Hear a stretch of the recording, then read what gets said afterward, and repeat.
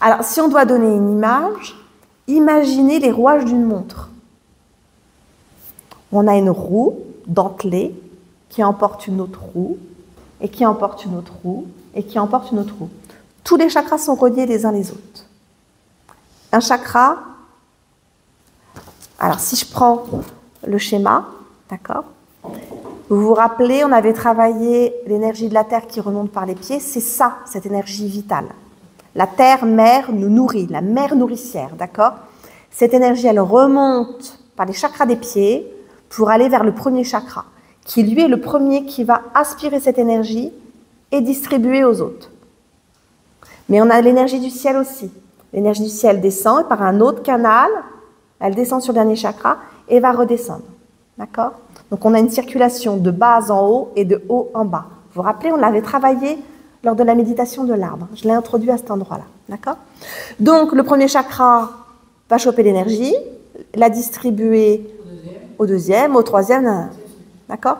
Donc ils entraînent tous les uns les autres. Ce qui fait qu'on ne travaille pas sur un chakra, on travaille sur tous les chakras en soins. Parce qu'ils ont tous un impact les uns sur les autres. Donc, donc imaginez toujours les rouages de la montre, ils tournent à une vitesse régulière. Mais ils peuvent être en excès. C'est ce que j'expliquais juste avant dans le texte. Il peut être en excès, par exemple, premier chakra, c'est les peurs fondamentales. Oh, je viens d'avoir une grosse trouille. Une peur de mourir, attention. Hein. Une grosse trouille. J'ai peur, je suis agitée. Il se met en excès. Mais du coup, il va perturber les autres. Mais il peut être encombré aussi. Donc il va mal circuler, il va mal tourner. Donc il peut être on, va parler d'excès, on va parler d'hyper et d'hypo. D'accord? Donc notre job en magnétisme, ça va être de désencombrer le chakra et de faire en sorte qu'il circule bien. On va amener une harmonie. L'idée, c'est que tous les chakras soient à une vitesse à peu près pareille. Donc qu'est-ce qui va encombrer le chakra? Euh, Je sais pas, quelqu'un, personne toxique, une mauvaise alimentation, toujours pareil, hein, physique, émotionnel et psychique. Hein. On va voir sur un souci physique, problème purement physique. Je déménage, j'ai du m'adapter, je me fais virer de mon boulot, je manque d'argent, euh, je mange trop, je vous voyez, vraiment des trucs physiques. Hein. Je mange trop, je mange mal, ça impacte, ça encombre le chakra. Sur un aspect émotionnel, euh, bah, je vis des émotions.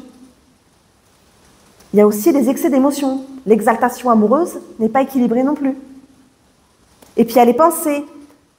Je pense trop à ceci, je pense trop à cela. Tout ça, ça vient encombrer le, ça vient encombrer le chakra. Et après, il peut y avoir des choses du passé. Alors ça peut être un traumatisme où on a mis un voile, on a mis, du déni, on ne se souvient pas, mais on l'a rangé dans un tiroir. Bah, c'est dans le chakra que ça se range.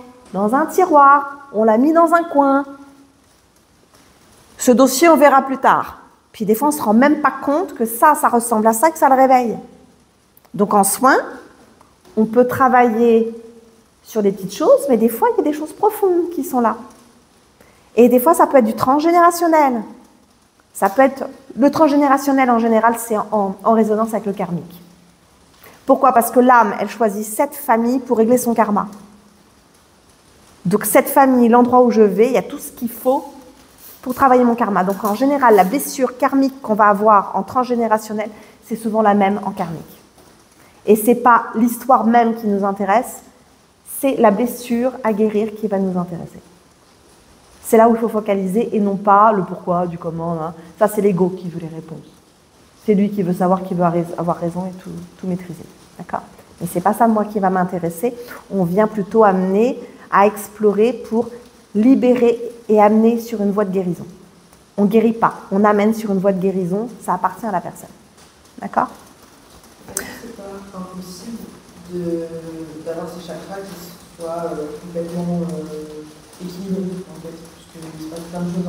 Mais oui, c'est impossible que ce soit parfait. Là, mon schéma, c'est le schéma de quelqu'un qui est parfaitement équilibré, mais c'est pas vrai. Ça demande un gros travail sur soi. Alors oui, il y en a qui pratiquent beaucoup, qui vont avoir une meilleure gestion.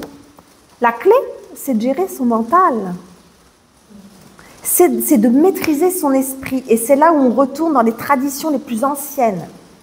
Euh, dans, le, la tradition ayurvédique, les textes védiques, On travaille quoi? L'alimentation, le yoga, la maîtrise de ce que je mange, bien répondre à mes besoins, le yoga, la bonne circulation de mon énergie, la maîtrise de mon corps, la maîtrise, la méditation, la maîtrise de mon esprit? Dans ces traditions, ils travaillaient les trois aspects, physique, émotionnel et psychique. Ça ne veut pas dire que leur chakra était parfait, parce qu'ils sont aussi humains. Euh, quand tu parles avec des moines tibétains, ils maîtrisent leurs émotions, ça ne les empêche pas de les vivre. Mais ils auront moins de perturbations. Dans le bouddhisme, on parle d'atteindre ce qu'on appelle l'équanimité. L'équanimité, on prend l'exemple d'un lac parfaitement calme et paisible. Il y a du vent, il y a des petites variations, mais ça reste calme et paisible. Mais nous, on n'est pas dans ces pratiques-là. Au contraire, on, a mis le mot plaisir sur l'alimentation. On a oublié que les besoins. Le coca n'a rien à foutre sur notre table, ni dans notre corps, d'accord? Euh, On a même oublié euh, le principe d'un animal végétarien, on donne des protéines animales aux vaches. Vous voyez, on ne respecte pas les besoins.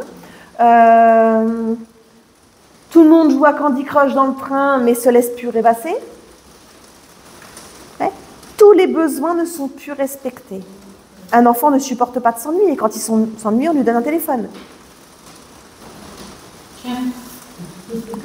Tous les principes même euh, d'entretien de son état physique, de son état émotionnel et son état psychique, on n'a pas de rigueur. Alors que dans les traditions, si on prend par exemple l'islam, tu pries cinq fois par jour, et eh ben tu médites cinq fois par jour. Parce que tu te concentres sur ta prière. C'est une méditation cinq fois par jour. Ça avait du bon sens. La méditation est dans toutes les traditions, mais sous un autre visage, une autre forme. Mais c'est pareil. Hein. Que tu récites un mantra tibétain, que tu récites un autre père, que tu récites n'importe quelle prière, c'est un moment où tu te concentres. C'est pareil, c'est la même chose. Le sportif, il va se concentrer, il médite. Mais il y a de la rigueur, une pratique régulière avec de la rigueur. Mais nous, les Occidentaux, on joue euh, les orientaux en parlant de chakra, nanana, mais on a un mode de vie qui n'est pas adéquat avec ces traditions. Hmm? Plus un mode de vie. On l'a eu, mais on l'a oublié. Mais on voit un retour, en tout cas une demande. Le mot spiritualité, c'est un mot qui est dans la bouche de beaucoup de gens, c'est très à la mode. Hein. Oui, sauf qu'on confond. Les gens, ils pensent que parce qu'ils croient aux fantômes, parce qu'ils croient aux anges, ils sont spirituels. Ils veulent pas croire en Dieu, mais ils veulent croire aux, anges. Or, dans les traditions, les anges ont été créés par Dieu et sont au service de Dieu. Mais on fait des anges des dieux aujourd'hui. D'accord? Euh, Donc ces chakras, donc on a vu, ils sont comme des roues. Donc on voit qu'il y a du mouvement, ça tourne. D'accord? Si je devais les représenter, parce que dans les textes, euh, dans, la tradition ayurvédique, ils sont représentés comme des, comme des lotus, avec des symboles dedans. Mais sont-ils vraiment des lotus? Non. C'est que la représentation psychique, les symboles chez eux ne sont pas les mêmes que nous. Mais si on devait vraiment se rapprocher de à quoi il ressemble, il ressemble à un tourbillon, à un tourbillon conique. D'accord? Donc il tourne dans le sens des aiguilles d'une montre. Alors je ne sais pas qui a pondu ça, mais il suffit qu'il y en ait un qui écrive ça sur Internet, tout le monde croit que c'est vrai, que ça tourne dans un sens pour les femmes et dans l'autre pour les hommes. Alors, est-ce que la polarité homme et femme est vraiment inversée? Moi, je suis juste dans la logique. Hein. Est-ce qu'un homme est l'inverse d'une femme? Non. Ils sont dans une complémentarité, mais ils ne sont pas inversés. On n'est pas sur une polarité. D'accord? Les chakras tournent dans le sens des aiguilles d'une montre. Après, il est. Alors, regardez le schéma. Euh, page 4. Ces chakras sont devant, ces chakras sont devant et sont derrière. Oui. D'accord. Alors, certains prétendent qu'il tourne dans le sens des aiguilles d'une montre devant et derrière inversé. Alors moi je le sens le mouvement des chakras, mais c'est très subtil. Si vous travaillez devant, pas besoin de travailler derrière. On travaille un côté, pas les deux. C'est pas utile. C'est le même chakra, d'accord? Savez, ce qui, dans les lois du Kybalion, dans les enseignements des lois universelles, ce qui est en haut est comme ce qui est en bas. Le microcosme à l'intérieur du macrocosme. Comment on sait comment s'est créé l'univers par la théorie du Big Bang, qui est la même chose dans l'utérus d'une femme? L'ovule est fécondé par un spermatozoïde. La fusion des deux crée une explosion pour qu'après il y ait une union. C'est ça la fleur de vie. Hein. Donc c'est la théorie du Big Bang, d'accord? Il suffit d'observer que tout se répète, comme le côté cyclique. Les saisons se répètent, d'où la vision du Bouddha qui explique qu'on est, le cycle des existences ne fait que se répéter, le principe de la réincarnation. Mais on le retrouve partout, ce principe cyclique, tout le temps. Les phases de la lune. Donc moi, je reste sur cette logique. Et regardez le siphon. Parce que si je regarde à quoi ressemble un chakra, on dirait une tornade. Mais le siphon de l'eau, il tourne toujours dans le sens des aiguilles d'une montre. Mais encore une fois, raison, tort, est-ce vraiment intéressant? Ce qui nous intéresse, c'est qu'on va toujours être dans le sens des aiguilles d'une montre parce qu'on va respecter son mouvement. C'est comme si une rivière, on veut la faire aller à contresens. Non, on suit le mouvement et l'idée, c'est que ça circule correctement. Et qu'est-ce qui l'empêche de circuler correctement? Ça va trop vite ou trop fort et ça peut être encombré. Donc, ces tourbillons coniques. Donc, on va imaginer, voilà, ça tourne. Ça tourne. D'accord? Après, il y a une notion d'ouvert et fermé. Moi, ça me chiffonnait cette notion d'ouvert et fermé. Moi, quand on me disait Oh là là, bah, c'est mon plexus, j'ai mon chakra qui est fermé. Moi, j'imaginais comme un robinet qu'on ferme. Si ça ferme, ça ne circule plus. Mais si on ferme un chakra, les autres, ils ne peuvent plus circuler non plus. Rouage d'une montre. Si on en bloque un, mon chakra, il est bloqué, mon chakra, il est fermé. C'était pas logique pour moi. Alors moi, je suis très portée sur la linguistique. Hein. Un chat, c'est un chat. les mots sont importants. Donc si c'est bloqué, ça, ne bouge plus. Et pour moi, un chakra qui bouge plus, bah, c'est que es mort. Le principe de la vie, c'est du mouvement. Tant qu'on est au mouvement, c'est qu'il y a de la vie. Si ça s'arrête, c'est qu'on est mort. Donc il y avait quelque chose de pas logique. Donc j'ai été chercher dans les textes, les traditions, pour comprendre un petit peu comment on a collé cette image-là qui paraît, me paraît pas logique. Et eh bien ces fameux chakras, ok, ils tournent trop lentement ou trop vite. Ce qui crée des excès, des hyper et des hypos. D'accord? Pareil, j'avais lu que ces chakras, tous les 7 ans, ils se développaient et ils s'ouvraient chez les enfants. Or, j'ai eu des gamins de 4 ans, je peux vous assurer qu'il a tous ces chakras qui sont là. Mais c'est quoi encore cette histoire d'ouvrir? Ben, Ces tourbillons coniques, ce sont des cônes, des tourbillons, qui vont être plus ou moins ouverts. D'accord? Et elle est là, cette ouverture. Cette ouverture amène à être ouvert vers le monde. Donc il y a cette circulation d'énergie qui fait ça, mais cette ouverture au monde. Si je prends par exemple aimer, mm. La capacité à aimer les autres, mais c'est aussi de recevoir l'amour. D'accord? C'est-à-dire, vous allez voir dans les enseignements chakras, c'est qu'il y a l'ouverture au monde, mais il y a la réception. On est un émetteur et un récepteur. C'est ça les chakras. Tout comme on émet, on reçoit l'énergie de la Terre, faut pas bloquer. Le premier chakra est super important. S'il est trop loin, il ne reçoit pas l'énergie de la Terre et là, tu manques d'énergie vitale. D'accord? On reçoit bien l'influence des planètes. On est émetteur et récepteur émetteur et récepteur. Les chiens ont tendance à trop cristalliser les mots parce qu'ils ne savent pas renvoyer à la terre, alors que les chats savent le faire. Le chat est plus éveillé. Chat, cheval, dauphin sont très éveillés. Mais chez les êtres humains, c'est pareil. Il y en a qui sont plus éveillés que d'autres. Il y en a qui sont connectés plus facilement que d'autres.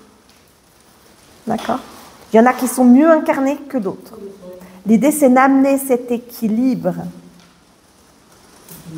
donc les soins énergétiques vont amener, amener cette personne à trouver son équilibre entre le ciel et la terre, vertical et horizontal avec les autres.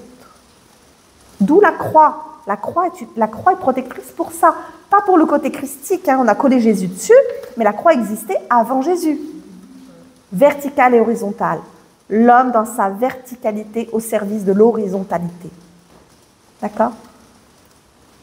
La terre, le ciel, moi et les autres. Donc l'ouverture de ces chakras va être là. Et l'idée, c'est que l'harmonisation, c'est que tous les chakras soient ouverts pareil.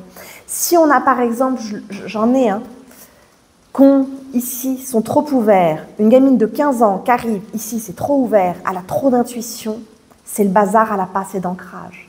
C'est dangereux et c'est là qu'on va voir des pathologies psychiatriques se développer s'ils sont trop ouverts alors qu'ils ne sont pas encore assez ancrés, ils perdent la tête. Trop ouverts. Pour qu'un être humain puisse se développer convenablement, il faut que cette ouverture soit harmonieuse partout, tous les chakras à peu près ouverts pareil. Ce sera jamais parfait, hein. on va pas être au millimètre, hein. mais que cette, cette ouverture soit partout pareil. Donc oui, on peut calmer un chakra qui est trop ouvert ou trop fermé par rapport aux autres, c'est que tous les chakras puissent être tous dans cette harmonie et cet équilibre pour qu'il avance convenablement. Mais après, chaque être est différent. Moi, j'avais cette hyperconscience très jeune. Et eh ben, j'avais un taux vibratoire, des chakras à un certain niveau qui n'était pas le même que ceux d'à côté. Et on va s'adapter à chaque personnage. Mais il y en a chez qui ça peut être trop fort. Les hypersensibles, tout est trop fort. Ah C'est comme si, voilà, encore une fois, vous vous rappelez, je vous avais dit, on est comme une, euh, une radio. Bah, des fois, c'est trop fort, il faut baisser le volume. Donc, un soin énergétique peut aussi baisser le volume. Ou des fois, c'est pas assez fort. On augmente le volume. C'est ça un soin énergétique. On va harmoniser tout ça. OK? Est-ce que c'est plus clair pour vous? Ça commence à être un peu plus?